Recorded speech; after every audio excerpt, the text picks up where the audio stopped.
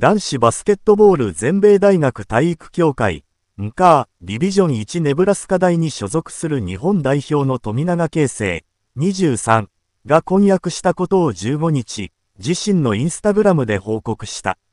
写真、富永啓生と婚約した女性の左手には指輪が。富永は、ご報告ですとして、この度お付き合いしていた方と婚約をすることになりましたと発表した。続けて、これからも二人で支え合い楽しい日々を過ごしていきたいと思います。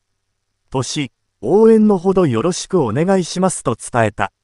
婚約したハンナさんとはネブラスカ大で知り合い、交際に発展。その後、互いのインスタグラムで笑顔の2ショット写真などを投稿するなど、仲睦まじい様子をオープンにして交際していた。